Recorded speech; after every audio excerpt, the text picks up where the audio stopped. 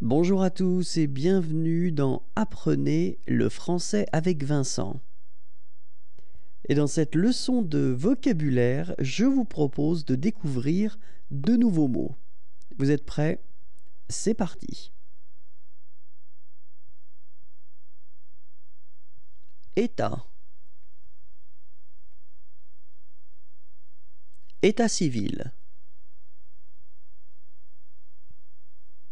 État confédéral. État confessionnel. État de droit. État d'exception. État d'urgence. État fédéral. État fédéré. État islamique. État laïque. État membre UE.